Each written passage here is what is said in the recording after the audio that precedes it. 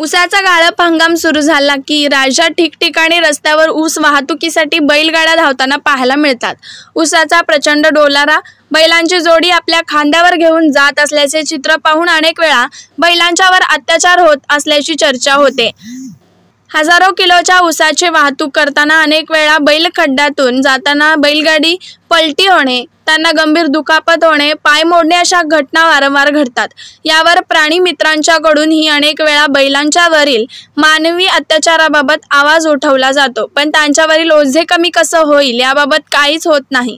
मात्र बैलांच्यावर होणारे हे अत्याचार आणि ओझे कमी करणारा यशस्वी प्रयोग इस्लामपूरच्या राजाराम बापू पाटील अभियांत्रिकी महाविद्यालयातील विद्यार्थ्यांनी करून दाखवलेला आहे. राजाराम बापू अभियांत्रिकी महाविद्यालयाच्या ऑटोमोबाईल अभियांत्रिक शाखेतील सौरभ भोसले आकाश कदम निखिल तिपायले आकाश गायकवाड ओंकार मिरजकर या विद्यार्थ्यांनी बैलांच्या मानेवरील ओझं कमी करण्याच्या दृष्टीने सारथी हा प्रकल्प हाती घेतला.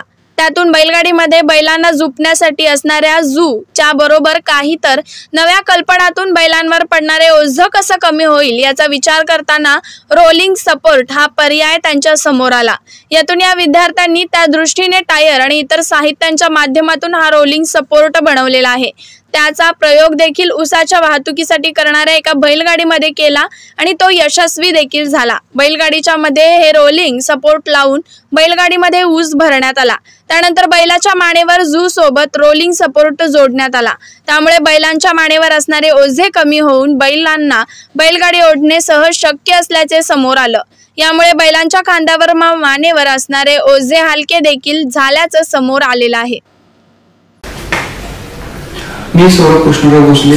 मी Rajaram Bapu Institute of Technology Sakharale या महाविद्यालयामध्ये लास्ट इयरमध्ये शिकत आहे.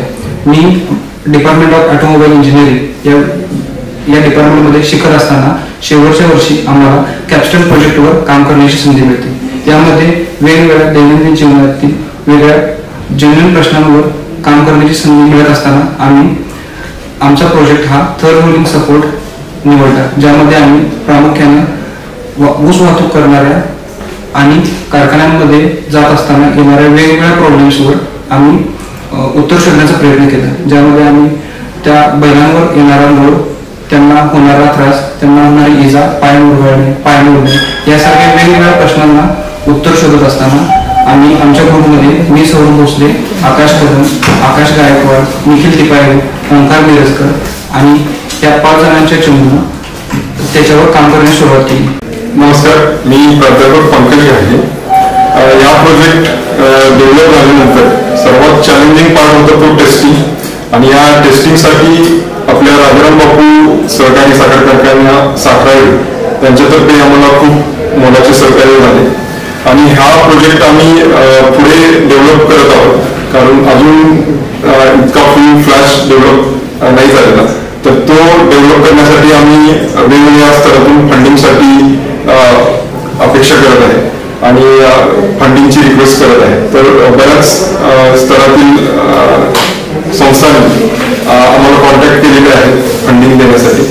महाराष्ट्रामध्ये सरकारी आणि खासगी तत्वावर मिळून चालणारे असे साधारणतः दोनशे साखर कारखाने आहेत. ज्या साखर कारखान्यांच्या जवळून ऊस वाहतूक ही फक्त बैलगाड्यांच्या थ्रू पॉसिबल होते.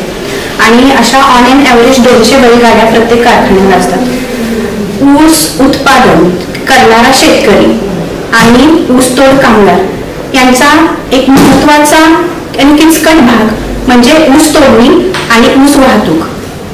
या ऊस वाहतुकीमध्ये बैलांना होणारी दुखापत ही तर सर्वांनाच माहीत आहे. स्पीड ब्रेकरमुळे बैलांचा पाय घसरणे खड्ड्यात बैलांचा पाय घसरणे पायाला दुखापत होणे मुरगळणे आणि अशा अनेक समस्यांना बैलांना तोंड द्यावं लागतं. आणि ह्या सर्व समस्यांचं निराकरण म्हणून आमच्या ऑटोमोबाईल डिपार्टमेंटच्या फायनल इयरच्या विद्यार्थ्यांनी जो थर्ड रोलिंग प्रोजेक्टचा थर्ड रोलिंग सपोर्टचा जो प्रोजेक्ट केलेला आहे ह्या प्रोजेक्ट हा सगळ्या सगळ्या समस्यांवर तोडगा आहे. Bureau report SBN Marathi.